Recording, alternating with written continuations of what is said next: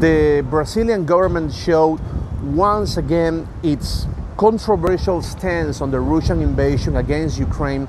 given the fact that Economy Minister Paulo Guedes said during an online event that uh, basically the Bolsonaro administration, the administration of right-wing President Jair Bolsonaro, strongly opposed the imposition of economic sanctions against Russia. This, of course, is essentially the first time that the economy minister shows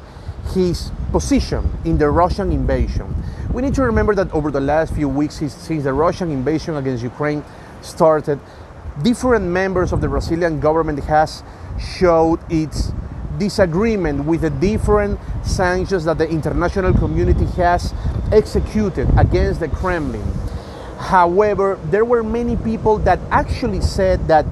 this opinion wasn't shared at all by the economy minister, given the fact that he has some political stance on Russia that are not exactly the same as the one that many members of the Bolsonaro administration has. However, this situation, of course, is quite surprising, uh, given the fact that in addition to these comments, uh, Paulo Guedes also explained that,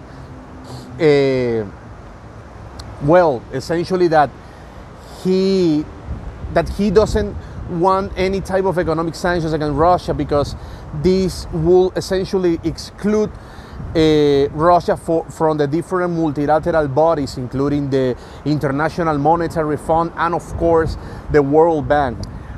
Naturally, despite these comments, he he also said that that of course he and the Bolsonaro administration fully condemns the the Russian invasion against against Ukraine. However,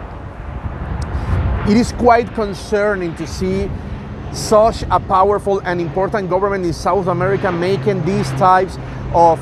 comments and showing these types of stance in such an important and delicate geopolitical situation. So the I mean these latest comments by by Paulo Guedes, by Brazil's economic minister, uh, came a couple of a couple of days after Reuters published a document that essentially revealed how Russia and how specifically the Kremlin has asked Brazil, the Brazilian government, for support in the World Bank, the International Monetary Fund, and even the G20 group of top economies in order to, to help Russia counter the different sanctions imposed by many nations. Of course, this is extremely controversial because basically we could say that these comments from, from Paulo Guedes could be not exactly his opinion, but actually something worse a favor that he's doing for Russia, given the fact that Reuters published these controversial documents.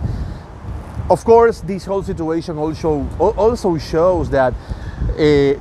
Brazil's relationship with Russia is actually deeper than we expected. I mean, the depth of this relationship was seen during Jair Bolsonaro's trip to Moscow a couple of days before the Russian invasion against Ukraine. However, we actually didn't thought that Bolsonaro would take this type of stance to the point of essentially being a really significant partner of Russia in this part of the world. Reporting from Medellin, Colombia, Luis Orozco, Newsweek.